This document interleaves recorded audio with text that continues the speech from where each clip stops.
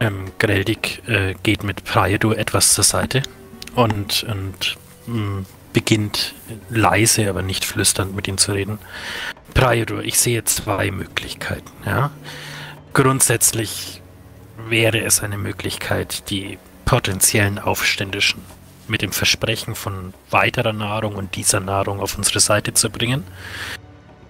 Die andere Möglichkeit wäre, ähm, unseren Freund seiner gerechten Strafe zuzuführen. Wenn er tatsächlich der Anführer der Aufständischen ist, könnte Tolduruk gegebenenfalls sich auf einen Handel einlassen.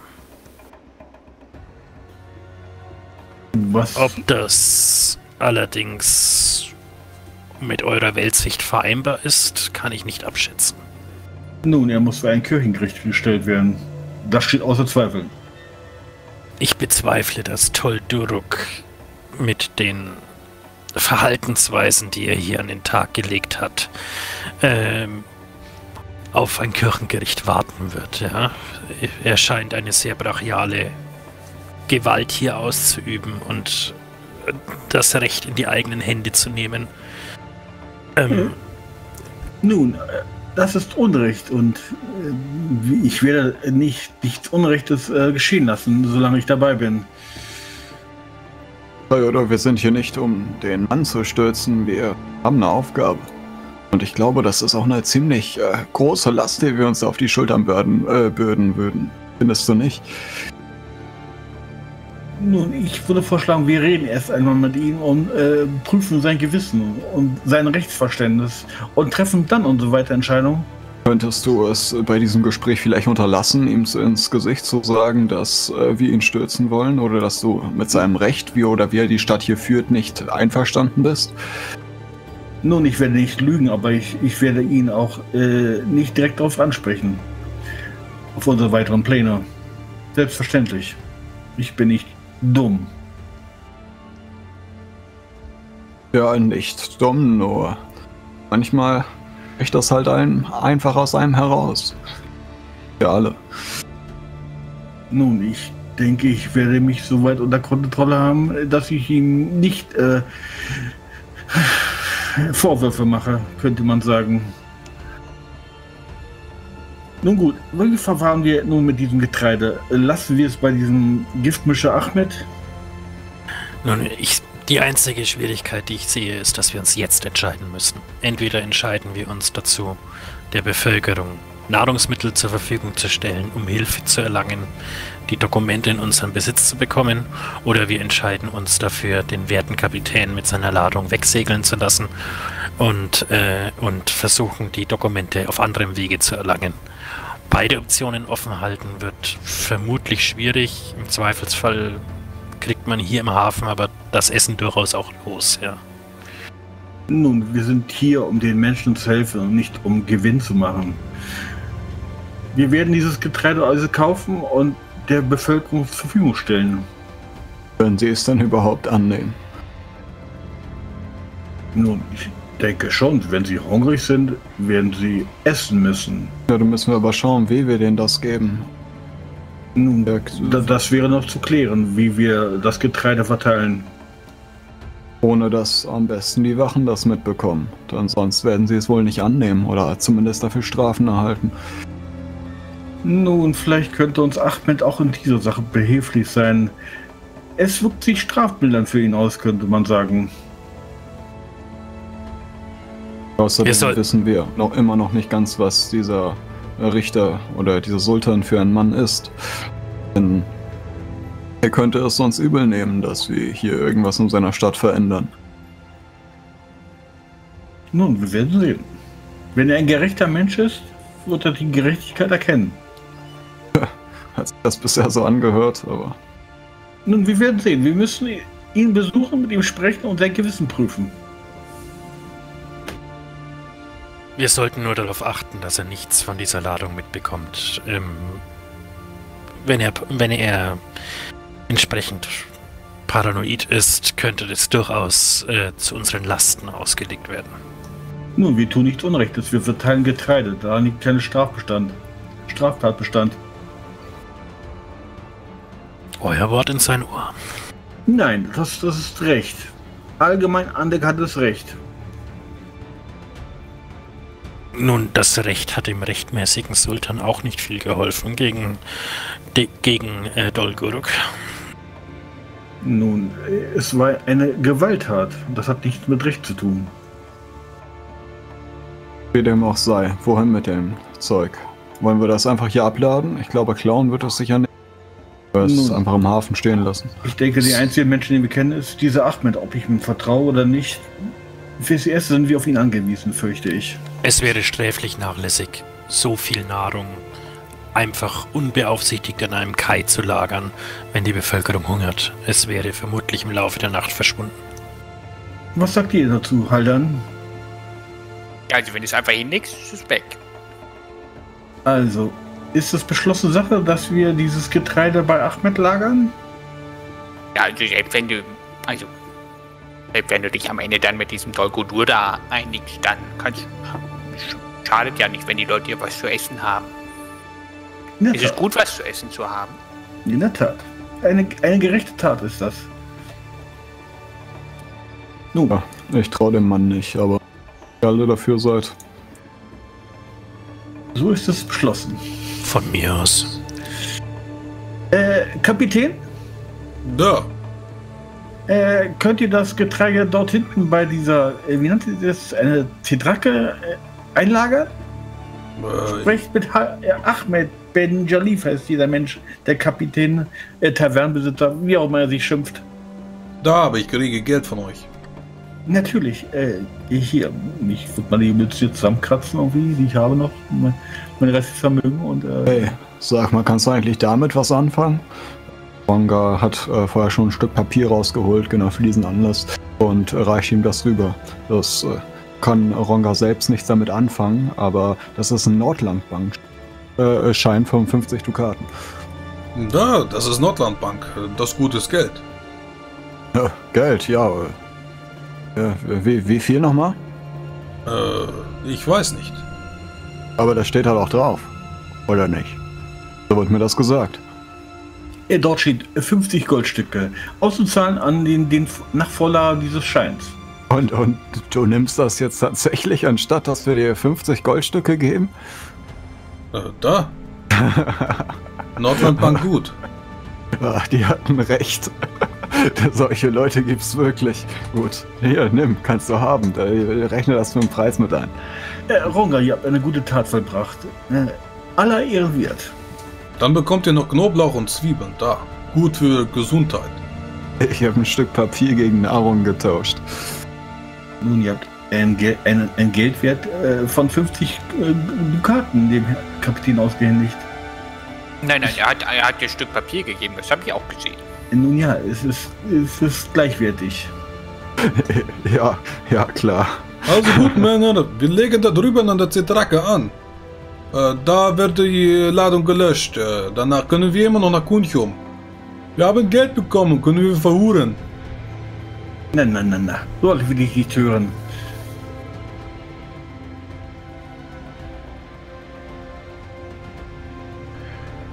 So könnt ihr bei dem Entladen, bei dem Löschen eurer Kogge etwas zusehen und äh, Ahmed äh, die letzten Einweisungen geben, bis ihr dann äh, ja, erkennt, dass das alles seinen geregelten Gang läuft. Es wird wohl noch einige Zeit dauern und eure Unterstützung brauchen die wenigen Personen dabei nicht.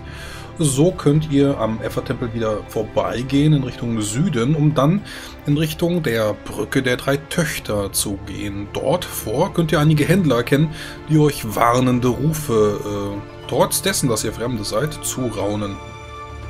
Hey, Effendis, Effendis, kommt her, kommt her, kommt her. Ihr, ihr, ähm, ihr müsst, ihr müsst Opfergaben kaufen, bevor ihr rübergeht. Niemand, der bei Trost ist, geht, geht ohne die Opfergaben rüber.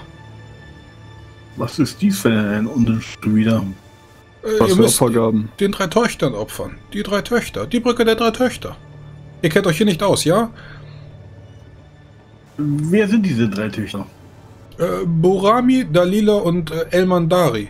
Äh, sie sind die, die Töchter des Baumeisters. Er hat sie damals eingemauert. Hier in die Brücke. Dort, äh, seht die, die drei Pfosten, die drei Pfeiler. Sie, sie sind dort eingemauert. Was und ihr müsst ver verbrochen. Ich weiß es nicht, ich weiß es nicht. Das ist lange Zeit her. Aber Sie bekommen Blumen hier, bei mir. Kauft bei mir Blumen. Und dort drüben, bei meinem Freund Ahmed, könnt ihr Räucherstäbchen kaufen. Und bei meinem anderen Freund dort drüben, Alrik, ist äh, Reiswein. Ihr müsst es opfern. Ihr müsst es kaufen, ihr müsst es opfern. Ist das hier gegen das Gesetz, nicht zu opfern? Ihr zieht den Zorn der Kraniche auf euch. Niemand will, dass ihr äh, nun von giftigen Lotus Lotusblüten beworfen wird. Seht dort oben, äh, sie sitzen auf der Brücke. Ja, äh, sie, die Kraniche sind die, die Tiere von Burami und von Dalila und es, äh, El Mandari. So. Warum wurden diese Töchter nicht ordnungsgemäßig, ordnungsgemäßig bestattet? Das weiß ich nicht. Das müsst ihr den Baumeister fragen. Er hat sie einge eingemauert. Und warum hat sie keiner herausgeholt? Und sie begraben ordentlich? Nun, ich weiß es nicht. Mein Herr, ihr müsst Blumen kaufen. Kauft Blumen. Ihr könnt nicht über die Brücke gehen, ohne Blumen gekauft zu haben. Nun, Seht dort oben die Kraniche. Schon. Die Kraniche greifen euch an. Sie werfen mit giftigen Lotusblüten auf euch. Hier sterben regelmäßig Menschen. Was ist denn das für ein Unsinn? Mein Herr. Also, wir können doch wohl eine Blume. Was kostet denn eine Blume? Fünf, fünf Taler, mein Herr. Silber fünf, oder fünf eiserne, fünf eiserne Münzen. Nein, nicht Silber. Ja, okay, aber die drei müssen sich eine Blume teilen, weil so viel Geld habe ich nicht. Und da drüben müsst ihr Räucherstäbchen kaufen. Und da drüben Reiswein. Bei Ahmed und äh, bei Alrik. Ich habe jetzt schon eine Blume gekauft. Das muss jetzt reichen. So viel Geld habe ich nicht. Ja. Ihr müsst jede der Tochter opfern. Ja, die können sich jetzt alle eine Blume Effendi, ihr seid in Gefahr. Euer Leben ist nicht sicher. Ja, wenn es dann sein muss. Solche Vögel können echt nachtragend sein. Nun gut, ich kümmere mich um die Räucherstäbchen. Ihre Gnaden, Effendi. Ja, ich kaufe eigentlich drei. Ihre Gnaden, ihr müsst auch kaufen. Ich mach mal ein Mensch, das Profop, der mich über den Tisch ziehen will. Also du guckst so ein bisschen auf die ähm, drei Säulen und du kannst äh, tatsächlich an jeder der Säulen kannst du kleine Schreine erkennen und davor liegen unzählige Blüten, vergossener Reiswein und Räucherstäbchen, die da äh, so einen, so einen äh, Hauch über die Brücke werfen. Und du kannst auch auf der anderen Seite der Brücke kannst du die gleichen Händler erkennen. Die verkaufen da die gleichen Blödsinn. Hm. Nun gut, dann will ich mal diesen örtlichen Traditionen frönen. Äh, hier, nimmt ein Silber. Hast du Gerechtigkeitssinn oder sowas? Äh, bestimmt. Ich guck gerade mal da. Irgendwie ein Nachteil, den muss doch der Prioten kicken. Ähm, Autorität, glaube ich. Steht das? Moralkodex? Zur, zur, Hälfte. Moralkodex auf alle Fälle, ja. Also ja. Greldig hat aber, glaube ich, 5. Ähm, Roll ich da mit einem W20 einfach? Nö, also wenn du, wenn du das bezahlen möchtest, dann musst du es nicht würfeln. Wenn du dich weigern willst, dann musst du einen W20 Nein. würfeln. Nee, da kickt der Aberglaube rein. Ich der wird sich um Räucherstäbchen kümmern. Ich würde dann die, ein Silbertaler, irgendwie, damit wir Blumen für uns alle bekommen. Irgendwie Gut. müsste reichen. Ja, dann könnt ihr euch eindecken und dann jeweils vor den äh, drei kleinen Statuetten äh, dieser Töchter des Baumeisters opfern. So, könnt ihr über die Stadtbrücke äh, gehen. Die einzige Stadtbrücke, die über den dreckigen Fluss führt, der wohl aus dem ekelhaften Sumpf mit den zahlreichen Echsen kommt. Bezauberndes Städtchen. Hier wird von nichts halt gemacht. Warum wurden diese, diese drei Töchter nicht ordnungsmäßig bestattet? Ich verstehe es nicht. Gibt es hier keinen Bauernpriester, der diesem Treiben Einhalt gebietet? Nun, fremde Länder, fremde Sitten, Praidur. Das hat nichts mit Fremditten zu tun. Tote gehören ordentlich bestattet. Sie gehören Bohrern. Während ihr weiter in Richtung des äh, Hauptplatzes oder des Palastes und dem äh, großen Minarett geht, kannst du aus dem Süden äh, Geheule hören, wie von wilden Stieren oder von, von wilden Berserkerkriegern, die wohl irgendwo dort äh, im Süden in den Gassen sitzen und finstere Blutrituale abhalten. Du kannst ein lautes, äh, gemurmeltes, ritualisches Ras, Rak, Ras, Rak, Ras, Rak hören. Diese Stadt hier verkehren nur Unzucht und Unordnung. Hier musste aufgeräumt werden. Aber dringend, aber dieser Herrscher ist sich anscheinend zu schade dafür, durchzugreifen. Nun, Vielleicht solltest du wirklich aufhören, offen an, an den, der Herrschaft der Stadt zu kritisieren. Aber seht euch da einmal um hier, was hier herrscht, irgendwie. Was hier um euch herum vorgeht. Pleiadur, eine unserer Optionen könnte das beheben. Ja, ihr könnt äh, wenige Menschen auf den Straßen vor euch erkennen. Ähm, einer führt da wohl so einen ähm, Stier in Richtung Süden mit blutigen Handabdrücken darauf. Führt er wohl in Richtung Süden. Ähm, andere Dorfbewohner oder Stadtbewohner ähm, gehen euch dann auch großzügig aus dem Weg, so wie es die Fischer getan haben. Machen dann auch die, die Holzläden zu, damit man auch äh, wenig Kontakt mit euch hat, wenn ihr dann als Fremde über diese Straßen geht. Alle sind abgemagert, also wirklich an keinem ist Fett dran. Und ähm, während ihr dann kurz, äh, ihr könnt es dann schon sehen, also der Hauptplatz ist auch von wenigen Menschen bevölkert, aber ihr könnt drei Männer sehen in rot gewandten Roben mit allerlei Sigillen des Praios darauf. Ah, das sind meine Freunde. Auf die zusteuern? Ja. Preis für Gruße. Ronga, du hast ein sehr ungutes Gefühl bei diesen drei Herren. Hm, dann halte ich mich ein bisschen weiter zurück, aber schaue Praiodor unruhig über die Schulter. Mhm. Sie nicken dir zu. Preis zum Gruß. Kollege. Äh, äh, Kollege? Wohl kaum. Ihr seid doch nicht so weiter, oder? Nein, sind wir nicht. Dann sind wir auch keine Kollegen. Richter. Sprecht, sprecht mich mit euer Gnaden an, wenn ihr wollt aber nicht mit Kollegen. Habt ihr das verstanden? Sie würfeln auf Rechtskunde, nicken, Kollege, Ihre Gnaden. Wir sind profane Richter, eingesetzt vom Sultan. So und so. Ihr? Ich bin Ihre Gnaden Praudo von Grauningen. Ordentliches Mitglied der Prauskirche. Dann willkommen in unserer Stadt. Habt ihr etwas zu verzollen? Habt ihr Unbill gesehen? Unbill beginnt dann überall auf dieser Straße. Schaut euch doch noch um. Wollt ihr etwa sagen, die Straßen sind voll von Heretikern? Dort im Süden habe ich ein, ein infernalisches Gebrüll wie von Stieren gehört. Das ist ja. der Rasrak-Schrein. Ja, es ist Ketzerei. Das ist so. Wir haben zahlreiche Richter, die dort vorsitzen und Schuld sprechen. Nun, offensichtlich gebietet ihr diesem Treiben keinen Einhalt. Wollt ihr uns etwa wegen Amtsverfehlung anzeigen? Nun, wer hat euch denn eingesetzt als Richter? Der Sultan, nicht wahr? Ihn müsste ich anzeigen. Ihr wollt den Herrscher anzeigen? Wenn es sein muss. Das ist Häresie. Das ist keine Häresie, das ist Recht und Gerechtigkeit. Seid ihr nicht autoritätsgläubig? Natürlich. Aber es gibt einen Unterschied zwischen Recht, die von Gerechten ausgeübt wird, und Recht, die von Ungerechten ausgeübt wird. Der Sultan, Unterschied? der Sultan bestimmt, was Recht ist und was nicht Recht ist. Nach welchem Kodex? Nennt ihn mir. Er ist der Sultan nach seines Kodex. Ah, ihr spricht von Tyrannei, nicht von einem Rechtssystem. Ihr beschuldigt den Sultan des, der Tyrannei? Das nennt man so, wenn einer Recht spricht, ohne auf einen allgemein anerkannten Kodex zurückzublicken. Äh, du kannst sehen, wie sie jetzt ähm, ungefähr. Ja, da am Rand stehen tatsächlich auch Wachen, Löwen von Talusa. Und äh, jetzt winken sie zehn davon heran. Oh, äh, ich, äh, kann ich mich da noch absetzen? War ein bisschen Abstand geblieben. Ich würde gerne noch in Sichtreichweite bleiben, aber nicht, dass ich von denen umzingelt werde.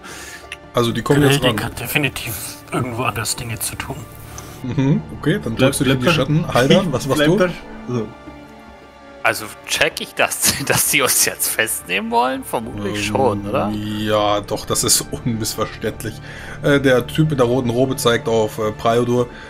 Er ist ein Heretiker. Er beleidigt den Sultan. Nehmt ihn fest. Was, was erlaubt ihr euch, ein geweihtes Preis festzunehmen? Ich, ver, ich ver, versuche mich mal zu verstecken, erschwert um Autoritätsgläubigkeit, weil eigentlich muss ich schon stehen bleiben. Ihr beruft euch auf Praios? Das ist ebenso Heresie. Wie bitte? Handeln Ihr wieder die Götter. ein- ihr beschuldigt einen Geweihten des Praios der Heresie gegen Praios? Seid ihr noch von Sinn? Handeln wieder die Götter. Heresie. Handeln wieder die Götter? So, die, äh, du kannst sehen, wie diese Söldner, die ähm, mit ihren Löwenornamentiken, äh, die lachen sich so ein bisschen ins Fäustchen und äh, gehen dann auf dich zu und würden dir dann auch deine Hände brutal auf den Rücken drehen. Was erlaubt ihr euch? Mitkommen, Lasst du kommst, mich los! Mitkommen, du kommst ins Loch. Ihr legt Hand an einen Geweihten des Praios! Die Zwölfe werden euch strafen für eure Untaten! Maul halten. Kriegst so einen Tritt in deine Knie und äh, tut weh, wenn du dann noch hinfällst und wirst dann direkt wieder nach oben gezogen, äh, die Arme nach hinten, sodass sie fast aus den Gelenken springen. Haldern wird einfach ignoriert. Also einer, einer von diesen, die, die drei Richter drehen sich so ein bisschen um in Richtung von Priodur, lächeln und dann kannst du plötzlich sehen, wie eine von diesen roben Gestalten so ein bisschen lauernd in deine Richtung guckt. Haldern. Ich habe meine Blumen gekauft. An der Brücke. Das war doch richtig, oder nicht? Tut, was ihr nicht lassen könnt. Aber der Mann hat gesagt, das muss man machen. Das ist kein Gesetz. Ach so. Aber er hat gesagt, sonst sind die Kraniche böse. Das werden sie. Ah. Er touchelt dir so ein bisschen liebevoll auf die äh, Wange, äh, wie, so ein, wie so ein Vater seinen Sohn irgendwie tätscheln würde, der gerade eine gute Aufgabe gemacht hat. Äh, und dreht sich dann um und geht dann mit den anderen drei Richtern dann insgesamt äh, hinterher. Äh, siehst so ein bisschen, also das, ähm, die, die standen eben direkt vor dem Priors-Tempel und ähm, vorbei am Haus des Scharfrichters äh, kannst du dann sehen, wie ähm, Priodo von Grauningen in die Mitte des äh, Platzes gezogen wird. Du kannst dann da hören, wie wohl ein schweres Gitter beiseite gezogen wird. Es klonkt einmal und äh, dann werden die Rufe von Priodur plötzlich sehr dumpf und dann klackt es wieder und äh, das Gitter wird wieder rüber geschoben. Du bist alleine, die anderen beiden sind verschwunden. Ich möchte mich verstecken. ich glaube, das ist halt als erste Reaktion. Ja, Ähm, der ist jetzt zu der 5 gebracht worden auf der Karte? Korrekt. Genau, korrekt. Das Loch, beziehungsweise ja, der Kerker.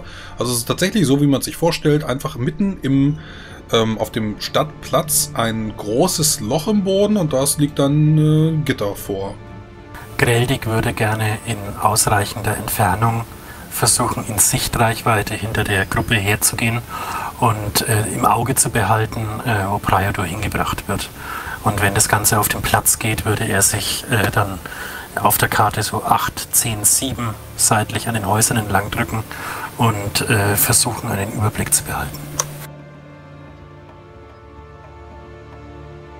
So, schauen wir mal nach. Also das Haus des Scharfrichters, das äh, wird dann auch alles relativ gut beschriftet sein. Du kannst am Sklavenmarkt vorbeigehen, an der Stadtgarde bzw. der Garnison der Talus Talusima.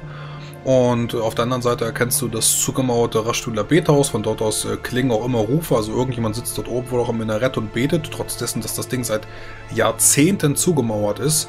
Ähm, die Novadis lassen sich davon nicht ähm, unangenehm berühren. Die haben wohl zu essen, zu trinken und denen geht's gut. Nur, dass sie eben jetzt äh, nerven mit ihren Rufen.